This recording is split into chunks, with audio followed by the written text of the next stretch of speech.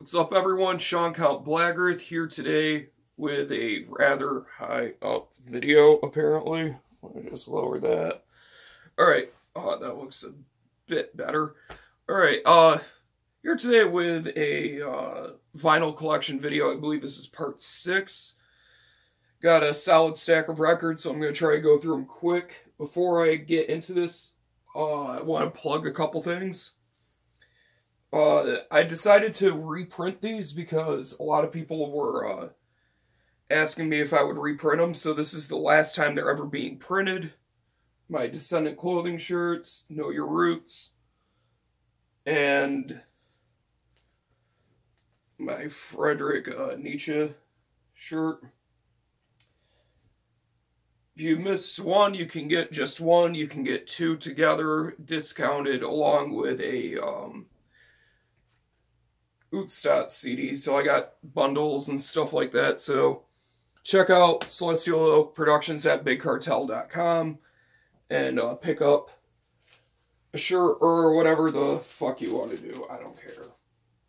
Alright, so the first record, this is uh, not usually my type of uh, music. I'm not a big fan of like occult rock and stuff like that for the most part, but love this album. Blood Ceremony, The Eldritch Dark. Got this, I want to say it, Mr. Cheapo's, the place is called, out in Long Island. Didn't have too many records I wanted when I visited, but uh, this one stood out to me. Uh, this is a record store day version, apparently. Um, comes with a nice lyric sheet and on a very cool red vinyl. Uh, check out the song uh, Ballad of the Weird Sisters. Yep, that's probably like one of my favorite songs uh, from this style. Killer shit. Check it out. Alright, next record. Fucking amazing death metal album. Blood Incantation with Starspawn.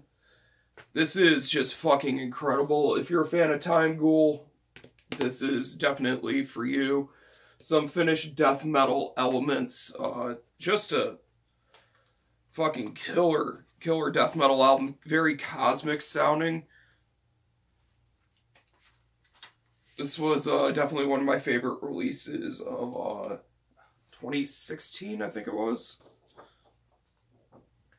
Comes with this uh, lyric sheet. A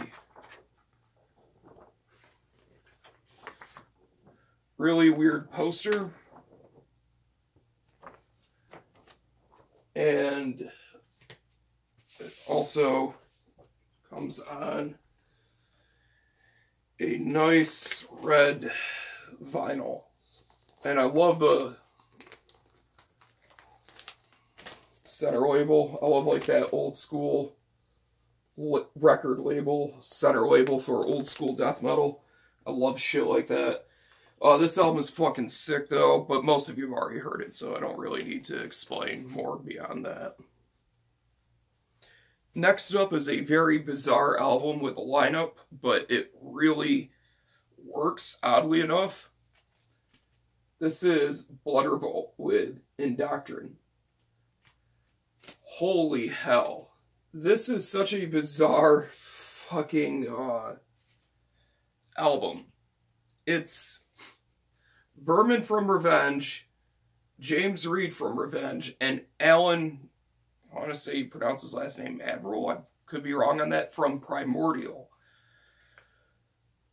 Never thought I would hear that in my life, that sort of lineup, but you know what? It's actually really cool. Um, it's kind of chaotic Black Death sort of shit, but it feels like even more militant than uh, Revenge. And the clean vocals that Alan does really works to create this like kind of like angry general sort of sound. I don't know. It's really cool though. Definitely check this album out. It was put out by uh, Iron Bonehead. Uh, just comes with a lyric sheet. and it's just on a black vinyl, so I'm not gonna bother with that. But uh, highly recommend this if you're a fan of uh, Alan's vocals and if you're a fan of Revenge. Uh, trust me, this thing actually does work. Next album. Never really got into this band. It's the only thing I have from them. Uh, I really like this album, at least. I know I don't like their other ones from what I've heard. But it was years ago. Bolt Thrower, those once loyal. This is a uh, record store day edition. You all know butt fucking Bolt Thrower. I almost said butt fucking thrower. I don't know why. Oh, I'm tired. It's gonna be a long day. All right, and this is the record store day version on uh, gold vinyl. Gold, aka transparent orange, apparently. Uh, this is a metal blade press. I don't know if there was ever a press on anything else. I literally know, like, next to nothing about this band. I checked out a couple albums. I can't remember which ones, but I didn't really dig them. But I found this at a record store and couldn't pass it up for the price. Figure I give it a shot. Speaking of cheap finds, this one was dirt cheap when I picked this up probably like three years ago. Borknagar with the Olden Domain. This is also a uh, record store day press from Century Media. Trying to remember what this comes with. I don't think this is on any special color. I think it's, yeah, it's just black vinyl.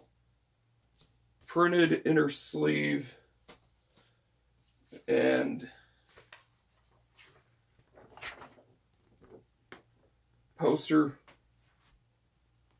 this album is awesome. Another album I don't think I really need to explain to too many people. Uh, some people say Viking metal. Uh, this is definitely before their progressive black metal era. This has like more of like a almost a over-ish vibe. I don't know. I love this album. I love like the first few records from uh, Borknagar. I like their whole discography for the most part, but the early stuff is definitely my favorite. Uh, next record, uh, Black Death from Switzerland. This is Bölzer, and this is Roman acupuncture. Really cool jacket. I love that. It's like embossed and like uh, foil stamped. Really cool shit. Comes with this uh, insert. Lyrics on the other side. And the record itself is a black vinyl. I believe there is also a gold. So I got the black vinyl and single-sided with uh, that etching going around the entire record which is super cool.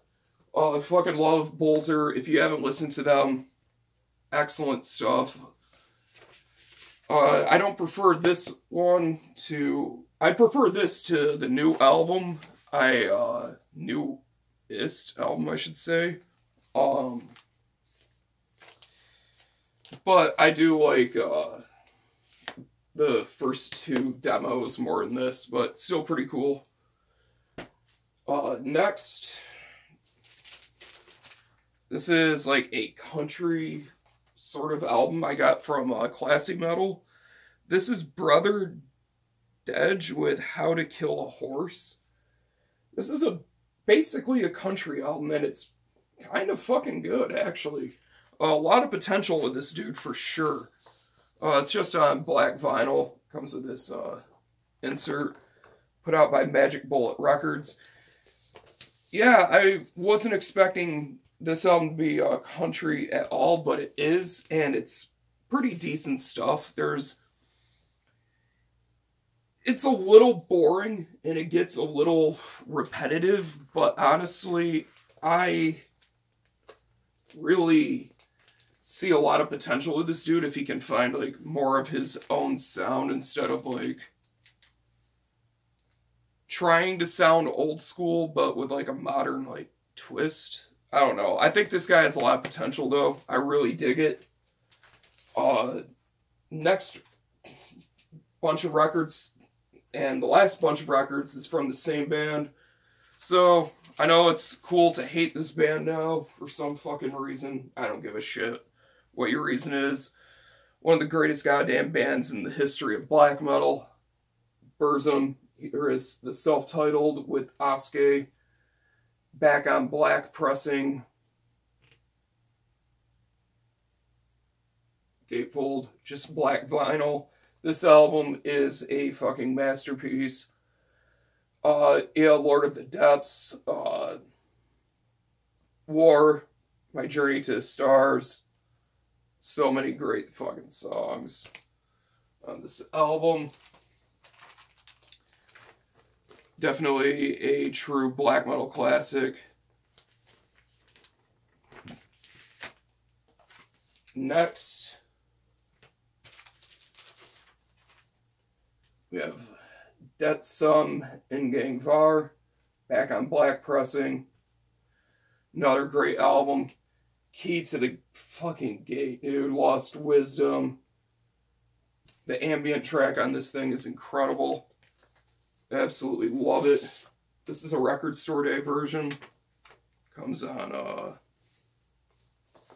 it's nice silver split with white. They need to reprint these albums because I noticed they're starting to sell for a bit, even on Discogs. So hopefully Back on Black will do a another run of these in the future. But uh yeah, this thing's fucking awesome. Another classic. I don't need to say much about it.